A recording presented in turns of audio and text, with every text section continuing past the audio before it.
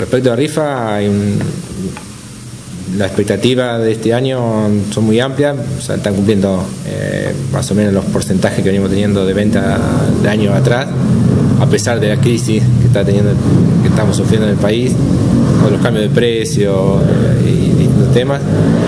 Pero bueno, eh, y la posibilidad estamos viendo de incorporar en algún otro, en un cercano tiempo la posibilidad de, también de poder abonar con tarjeta de crédito. Eh, eh, también es verdad que el, principal sustento del cuartel es la rifa, con lo cual agradecemos a toda la gente que colabora, eh, que viene comprando la rifa y a su vez también es, socio de la institución.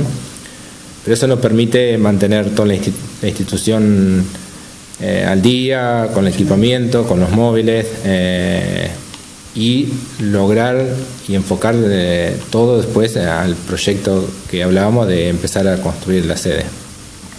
También eh, lo que quería agregarle a lo que dice Gabriel es que las casas se construyen eh, el año previo, digamos, sobre la rifa. Normalmente cuando se llega el sorteo, la casa ya está lista para entregar, ya en mano. las casas se han ido sorteando los últimos dos años y este año están ubicadas en la dirección Avenida de España y Profesor Monte. y Profesor Monte, porque por ahí hay gente que pasa y ve obras y no sabe que son las casas que están eh, que son para la rifa, más allá que por ahí en la rifa están las fotos y imágenes.